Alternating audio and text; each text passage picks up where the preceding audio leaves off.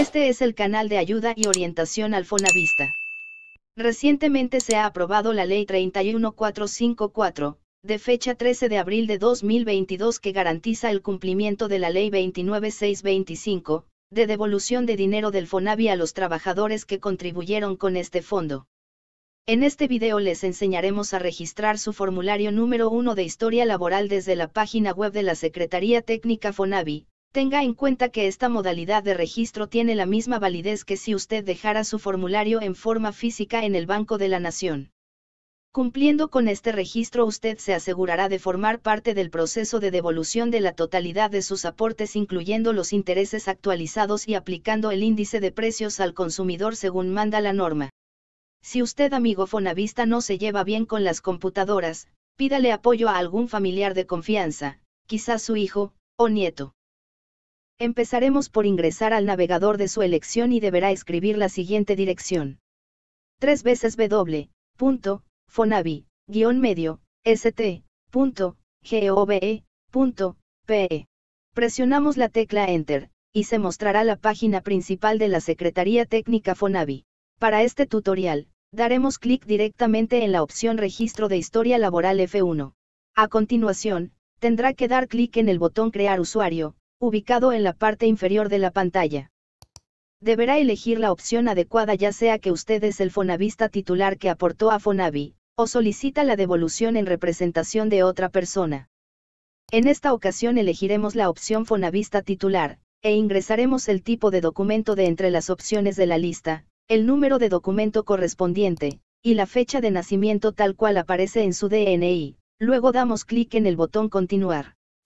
La siguiente pantalla mostrará la sección Datos del Fonavista, con sus datos básicos, donde podrá completar alguno de los campos de ser necesario. La sección media muestra la dirección del Fonavista. Si no estuviera completa o la información que se obtuvo de RENIEC no coincide con su dirección actual, podrá agregarla o modificarla, ya que esta será su dirección de notificación.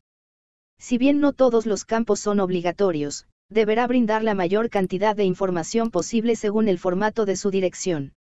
Sirven de guía los espacios en blanco que cuentan con listas desplegables para seleccionar.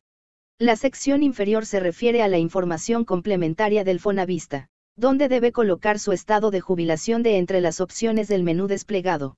Por ejemplo, si usted actualmente recibe una pensión, deberá marcar la opción activa. Opcionalmente, esta sección le solicita la fecha de afiliación a su sistema de pensiones. Ninguno de los datos de esta última sección es obligatoria. Deberá completarla solo si tuviera esa información a la mano. Concluiremos esta sección dando clic al botón Paso siguiente. Esta nueva pantalla nos muestra su usuario que ha sido creado automáticamente, el cual está conformado por los ocho dígitos de su número de DNI, y los cuatro dígitos de su año de nacimiento. En el siguiente espacio escriba una contraseña de más de seis dígitos que pueda recordar con facilidad, luego escríbala nuevamente en el campo Confirmar contraseña. A continuación, elija una pregunta secreta de entre las opciones del menú desplegable, así como su respectiva respuesta, que deberá escribir en la siguiente casilla. Estos dos últimos datos le servirán para recuperar su contraseña en caso la olvide. Luego, en el último espacio en blanco, escriba las mismas seis letras del código CAPTCHA que observa en el lado izquierdo. Finalizaremos dando clic en el botón Crear usuario, y luego en el botón Aceptar, en el mensaje de confirmación de registro que aparecerá. Luego de revisar el mensaje que aparece en color verde, daremos clic sobre el texto Registrar historia laboral. A continuación, escribiremos el usuario y contraseña que creamos en el paso anterior, así como las seis letras del código CAPTCHA que aparece a la izquierda, cada uno en su campo correspondiente. Luego daremos clic en el botón Iniciar sesión. En la siguiente pantalla podrá cambiar su información de contacto, o agregar información concerniente a su jubilación. De haber realizado alguna modificación, deberá dar clic en el botón Guardar. Para ingresar sus periodos laborales, deberá dar clic en la pestaña Registro de historia laboral de la parte superior, seguido de un clic en el botón, Registre nuevo periodo de historia laboral. En el paso 1 deberá elegir el tipo de documento de su empleador de entre las opciones de la lista, ya sea RUC, libreta tributaria, u otro. Para completar el paso 2 ingrese el número de documento correspondiente, y dé clic en el botón Buscar. verifique que la razón social hallada sea la correcta. Luego, en el paso 3 ingrese la fecha de inicio de sus labores dentro del periodo de aportes al FONAVI. Del mismo modo, ingrese la fecha de cese de ese periodo laboral. En el espacio en blanco inferior podrá agregar cualquier tipo de información que facilite la verificación de su historia laboral. Por último, deberá dar clic en el botón Guardar. Verifique que los datos hayan sido ingresados correctamente. De ser necesario podrá editar o borrar el periodo ingresado. De faltar alguna fecha en su periodo laboral, aparecerá con fondo color rosado. En cambio, si los datos están completos aparecerá con fondo blanco. Para registrar un nuevo periodo laboral, deberá repetir el proceso dando clic al botón Registre nuevo periodo de historia laboral. Si así lo desea, puede imprimir una constancia de registro de formulario 1, dando clic en el botón del mismo nombre, luego vaya hasta la parte inferior de la hoja y dé clic en el botón Imprimir.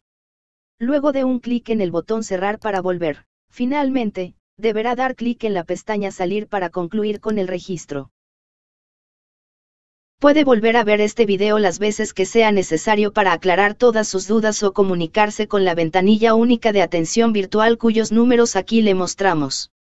No olvide suscribirse y activar la campanita para estar al tanto de las novedades y nuevos videos, Asimismo puede realizar sus consultas a través de los comentarios que gustosos le responderemos. José Martí dijo, en la justicia no cabe demora, y el que dilata su cumplimiento, la vuelve contra sí. Fonavistas del Perú, cada día más cerca a la reivindicación.